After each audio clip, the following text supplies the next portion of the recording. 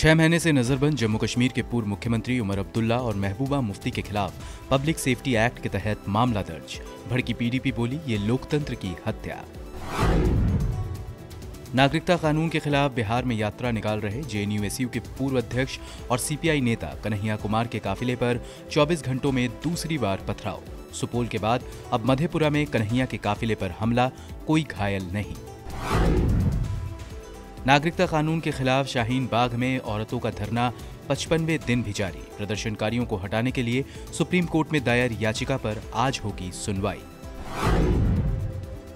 Nirbhaya gangrape और हत्या के मामले में दोषियों को अलग अलग फांसी देने की केंद्र की याचिका पर सुप्रीम कोर्ट में आज सुनवाई।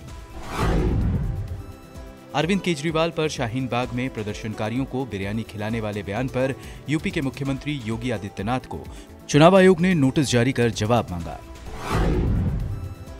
कश्मीर घाटी में छह महीने से इंटरनेट की बंदी पर कानून मंत्री रविशंकर प्रसाद बोले, इंटरनेट मौलिक अधिकार नहीं, देश की सुरक्षा भी उतनी ही महत्वपूर्ण। लोकसभा में धन्यवाद भाषण के दौरान देश के पहले पीएम पंडित नेहरू पर पीएम मोदी का हमला, कहा पीएम बनने के लिए देश पर एक लकीर खींच दी गई। अमेरिकी राष्ट्रपति डोनाल्ड ट्रंप का ऐलान, यमन में Al Qaeda in the Arabian Peninsula के सरगना कासिम अल रेमी मारा गया। और चीन में कोरोना वायरस से अब तक कम से कम 630 लोगों की मौत, मरीजों की संख्या तीस हज़ार के पार हुई। कोरोना को लेकर भारत ने सतर्कता बढ़ाई।